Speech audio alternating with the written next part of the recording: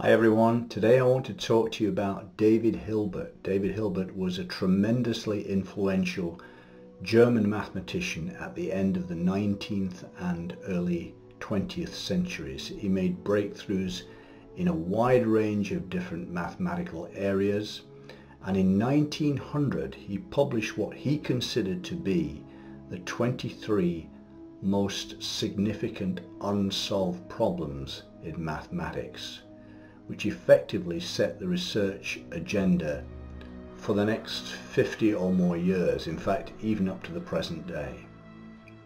Let's find out more about him.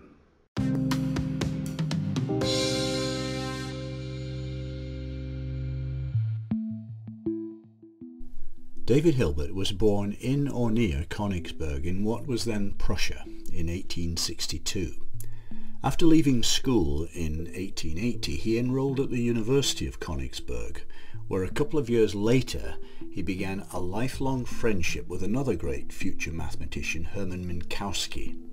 Hilbert became a lecturer at Königsberg and remained there until 1895 when he was appointed professor at the University of Göttingen then the leading institution for mathematics in the world. He was surrounded by other eminent mathematicians such as Emmy Noether and Alonzo Church, and many of his students rose to become eminent in their field, including Hermann Weyl, Ernest Zermelo, and Hugo Steinhaus. During the early phase of his career, Hilbert reorganized number theory, crystallizing his conclusions in the classic book Zahlbericht, the Theory of Algebraic Number Fields, published in 1897. He then moved into geometry and performed a similar service by setting forth the first rigorous set of geometrical axioms in his Grundlagen der Geometrie, Foundations of Geometry, in 1899. He became a master of mathematical organization.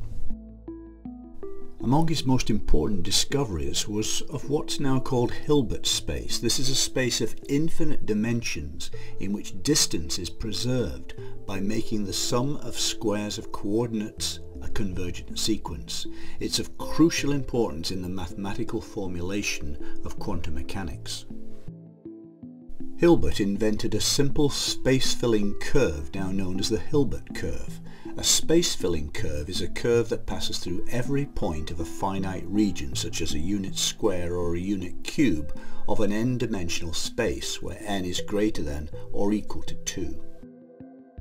Hilbert also proved Waring's conjecture, a hypothesis that had been put forward without proof by the English mathematician Edward Waring in 1770. It states that for every number k, there's another number s such that every natural number can be represented as the sum of s kth powers. For example, every natural number can be written as a sum of 4 squares, 9 cubes, and so on.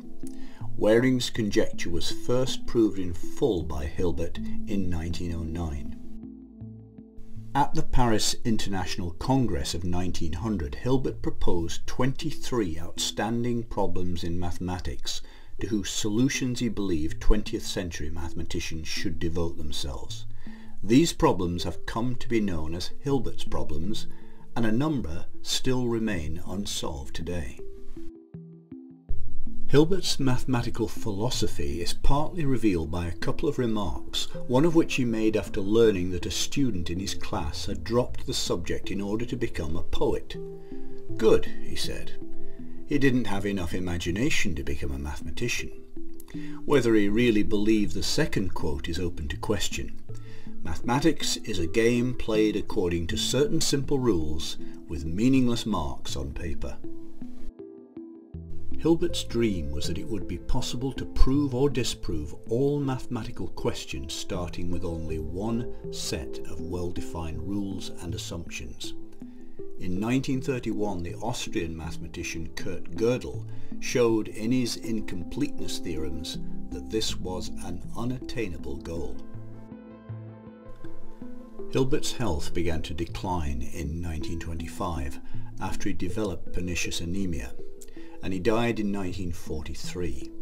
The English translation of the epitaph on his tombstone is, We must know, we will know.